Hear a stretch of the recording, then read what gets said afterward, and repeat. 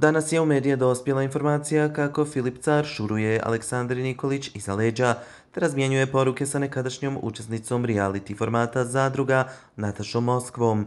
Ništa tu ne bi bilo sporno da Filip nije insistirao kako se tada navodilo da je pozove.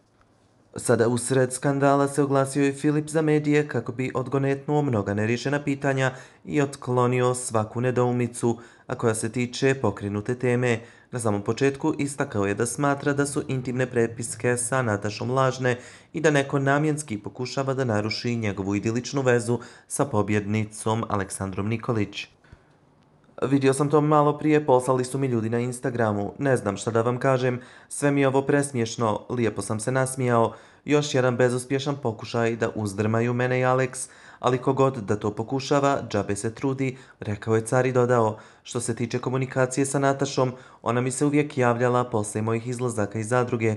Govorila je kako me tamo podržava, da sam bio super, a ja joj se uljudno zahvaljivao. Eto, to je bila priroda naše komunikacije i ništa dublje od toga, djevojku lično ni ne poznajem, poručio je Filip Car za medije i time demantovao brojne natpise o raskidu.